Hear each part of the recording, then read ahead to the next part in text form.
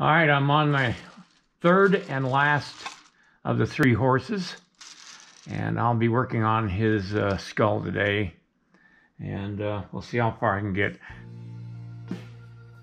Time to play with some clay.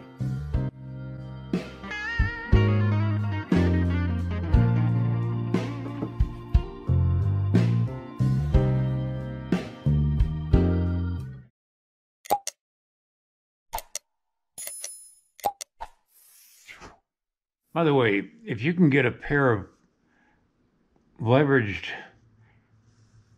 wire clippers like these, it's really good for really tough wire. Uh, of course, this one is really filthy. It needs to be cleaned so bad. I think I'm going to take time out right now to do that. It's literally got clay from, I couldn't tell you how many sculptures. on it.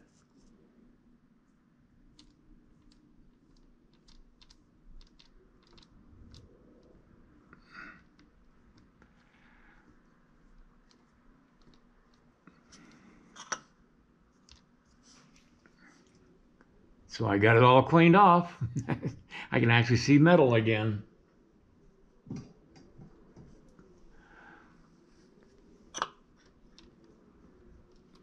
It's windy outside and it's getting ready to storm.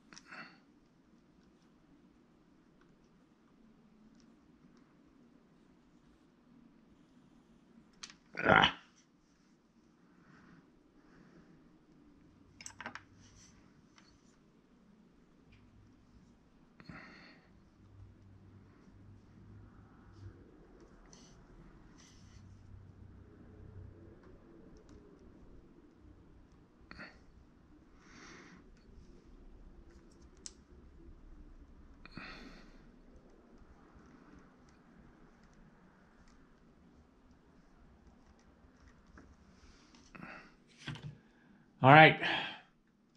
I've got this uh, skull far enough along to where I can do a little more detailing when I come to it uh, as I work on the uh, JMac clay part. This is a this is all monster clay here, and I just used it as a kind of like a base uh, for base clay for the uh, JMac clay because it'll hold its shape better uh, when I start uh, putting muscles on and stuff like that.